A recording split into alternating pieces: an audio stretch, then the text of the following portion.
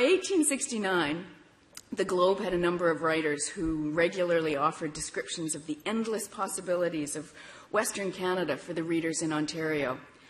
Poet Charles Mair, formerly of the Ottawa Valley and perhaps the best known and the most prolific, but there were others as well, farmers and business owners and developers of all sorts. If any ambitious journalist or merchant wants a larger field than Canada can supply, the Globe promised, he can find a career in the Northwest. Indeed, the editors continued, we hope to see a new Upper Canada in the Northwest Territories, a new Upper Canada in its well regulated society and government, in its education, morality, and religion. We do not for a moment believe that Ontario will suffer loss by the emigration of its sons to the new territory. On the contrary, we shall be benefited by the opening which will be created for all our manufactured goods. Those 19th century dreamers and speculators and thieves who offered up an image of Ontario expansion and economic growth that was quite imperial in its contours gave us more than just a trope to ridicule or condemn with the passage of time. They have provided a useful lens through which to understand the province and its peculiar, often enviable, but increasingly vulnerable place within the Confederation. Empire Ontario was a dream for the 19th century, shaping the province's budgets, tax policy, and relations with the federal government for at least a century. But as the empires upon which the image was formed have collapsed, the image provides more of a cautionary tale for Ontarians of the 21st century. Ontario, the province, emerged during a period in which English speakers, at least, might be forgiven for imagining that the age of empire was alive and well.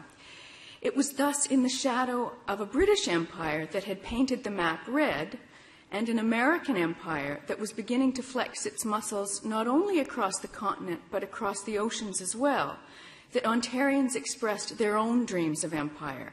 The Confederation debates themselves were couched in the rhetoric of expansion. Those in favor spoke of maintaining liberty and justice and Christianity throughout the land and uniting for the purposes of commerce and to develop the vast natural resources of our united dominions. Those against argued that the Union would bring higher taxes, bigger government, and more intervention, and that this should be avoided. They argued, in fact, against all the trappings of empire that were so attractive to the other side. Expansionists won the day, if only barely, and set about using the tools that would enable the growth of Empire Ontario, provincial budgets and taxation close to home, the federal government somewhat further away, and the British Empire itself when necessary. Like all empires in this first age of globalization, not smart, but assertive globalization, Ontario's guiding principle was growth. In the 1860s and 1870s, Ontario diversified its agricultural economy beyond wheat and into a wide variety of garden crops, as well as into dairy and livestock.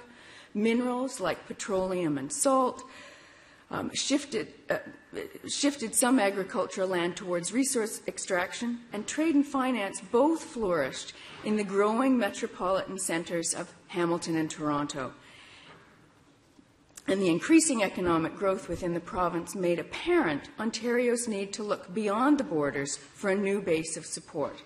This is the inverse of the traditional imperial formulation, in which overcrowding and insufficient resources at home lead to expansion abroad.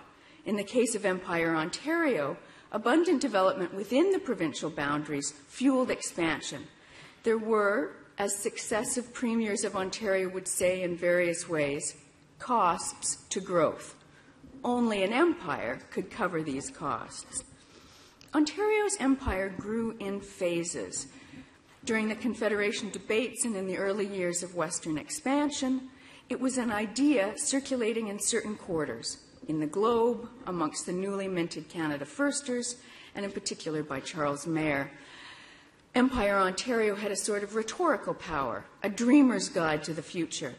But increasingly, those dreams took on real shape. Premier Oliver Mowat's battles with the federal government over the granting of liquor licenses, timber licenses, and King's Counsel designations led first through the courts and ultimately to an expanded understanding of the jurisdictional boundaries of Ontario. And other provinces too, but their growth merely bobbed in the wake of Ontario's assertions in these regards. Growth was no longer simply an idea, but had a developing intellectual foundation. With expanding authority, successive Ontario governments built the infrastructure of empire, luring industry with a combination of railways, canals, and trade networks on the one hand, and a burgeoning financial sector on the other, Ontario governments of both stripes encouraged growth. Nothing was more instrumental in that goal than the introduction of the national policy tariffs. The backing of Toronto's industrial capitalists was key to John A. Macdonald's plan for high tariffs. I don't know what protection you require, he told them in a private meeting in the billiard room of the Toronto's Queen's Hotel, but let each manufacturer tell us what he wants, and we will try to give him what he needs. Those protectionist barriers would allow infant manufacturing industries to flourish and over time would encourage an integrated made in Canada economy where once the fledgling, fledgling colonies had relied on imports from Britain and the United States. Ontario was disproportionately the locale for those made in Canada goods, from steel for the railway ties to tractors for the western farms of the 20th century to packaged food from the farms of Ontario and beyond.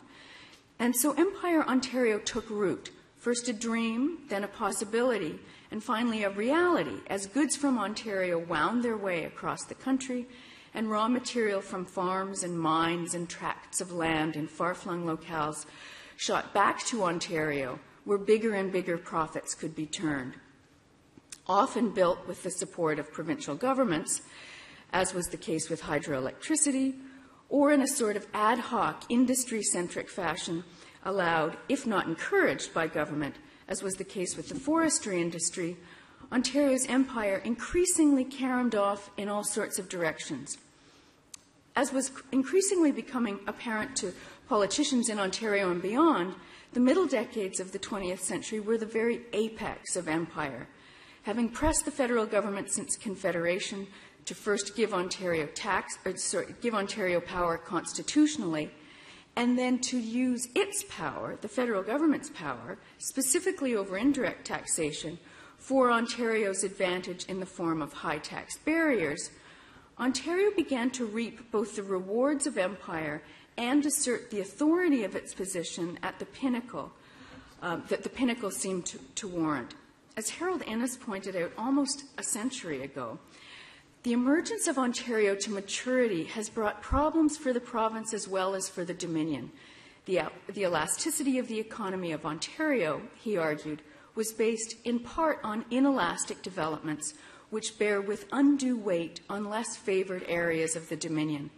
The strength of Ontario may emphasize the weakness of the Federation.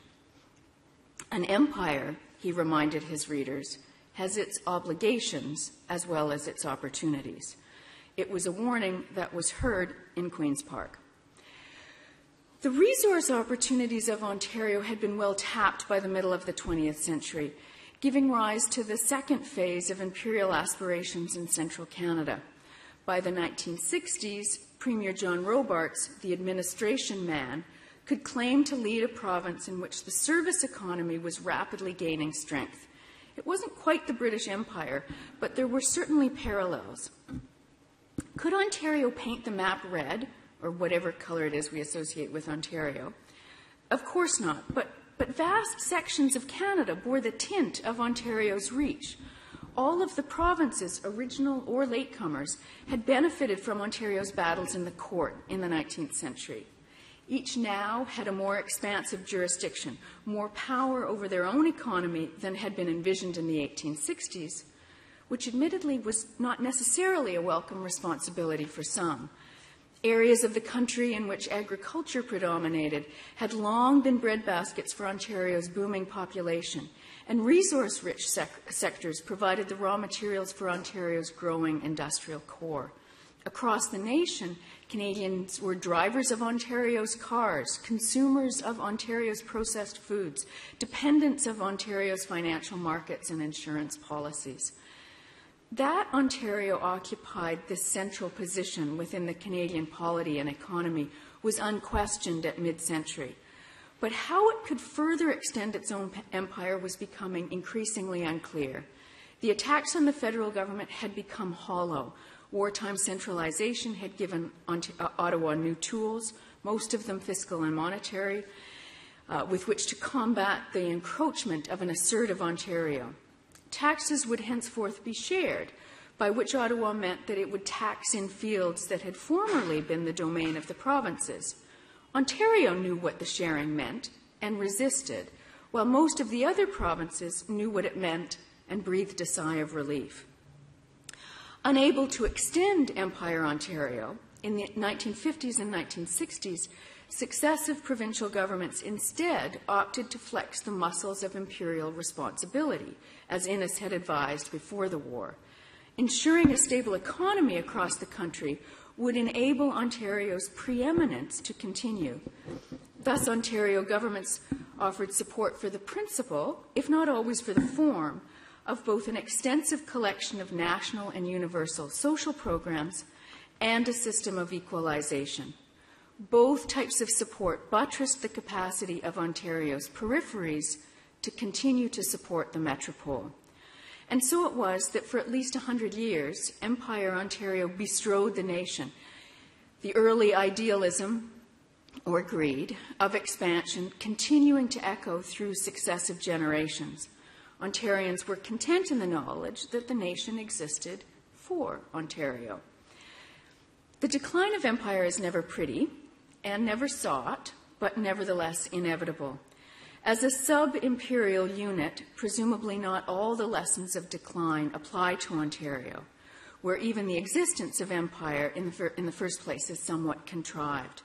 But as a quasi empire, at the very least, it might be useful to examine the similarities between Ontario's experience and that of other empires that have cusped and are now in decline, as well as to consider what might, what might lie in store for Ontario in the future. First, there was the experience of a decolonization of sorts. Not quite the same uh, throwing off of the yoke of empire as was witnessed across Africa in the second half of the 20th century, but how else are we to understand the groans of Western alienation in a similar period? Let the Eastern bastards freeze in the dark was a threat hurled specifically at Ontario, where imperial logic had led Premier Bill Davis to argue for, for lower energy costs for Ontario factories. Then there are the obvious illustrations of Ontario's decline in the last decade or so, like its eligibility for equalization money in 2009, like its relative decline in population growth compared to each of the western provinces other than Manitoba, like its relatively weak economic performance compared to the United States, which itself has lagged behind Canada as a whole, but on the strength of the new economic powerhouses in the West, not the old empires in the East. Other empires ha- have then seen great hiccups of angst over their shifting fate and a turn inward to shore up the resources of the center and let the peripheries fend for themselves. We th- see this to some extent with Brexit, but more clearly in Trump's inward looking America, where both empire building abroad and global responsibility have taken a back seat to nationalist rhetoric. Can this be Ontario's fate as well? A retrenchment from its position as the linchpin of the Federation, as the economic bounds of bonds of Empire Ontario become weaker and weaker? Or is Ontario poised to enter a post imperial phase of collaborative economics and power sharing? Only time will tell.